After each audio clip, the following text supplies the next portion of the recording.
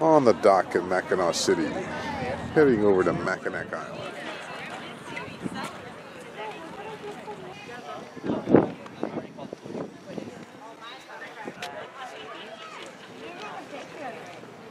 Thank you.